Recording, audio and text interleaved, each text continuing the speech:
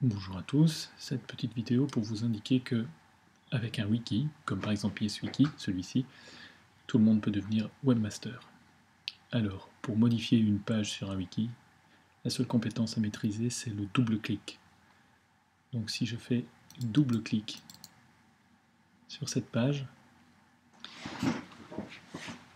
je passe en mode édition. Et là, je peux faire les ajouts que je veux. Donc, imaginons que je m'appelle Gatien. Euh, J'habite à Montreux-le-Bois. Je mets ceci en gras.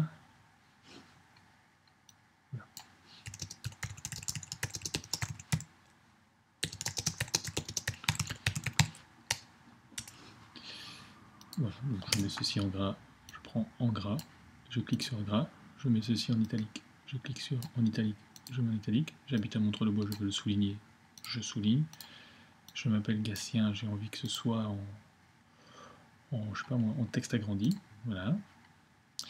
Je souhaite euh, faire un lien, par exemple, je travaille au crier de Moucron, et j'aimerais bien qu'il y ait un lien vers le site du crier de Moucron, je prends crier de Moucron, je dis fais-moi un lien, vers quoi?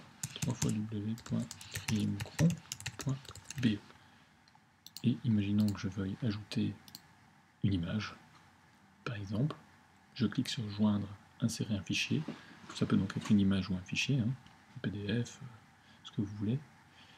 Imaginons que je vais mettre le logo, et voilà, logo de Coptic, hop, il télécharge le fichier, me demande si je veux le centrer, le mettre à gauche, le mettre à droite, quelle est sa taille, euh, puis je peux encore euh, dire que quand les gens cliquent dessus, ça doit aller vers euh, tel tel site, que je veux un bord blanc et qu'il doit s'agrandir quand on passe dessus, je fais insérer.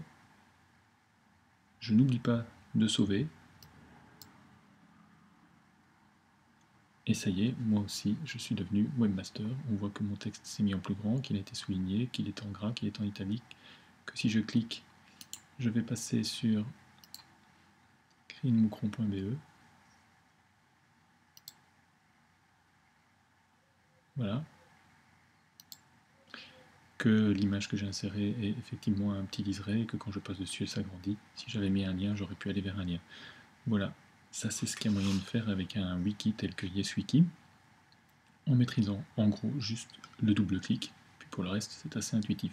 Si maintenant vous, voulez devenir un véritable webmaster, vous pouvez alors ajouter pas mal de, petites fonctionnalités, mettre en couleur, créer des colonnes, insérer série de, documents ou d'informations autres sur le wiki. Et pour ça, je vous invite à cliquer sur l'aide et euh, à découvrir toutes les petites fonctionnalités qui permettent de faire des choses un peu plus spéciales quand on est avec des petits boutons, des trucs à cliquer, de la couleur dans les textes, des colonnes, enfin voilà.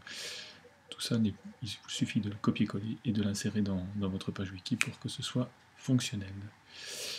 Voilà, ça n'est pas beaucoup plus compliqué que ça. Maintenant, c'est à vous de jouer.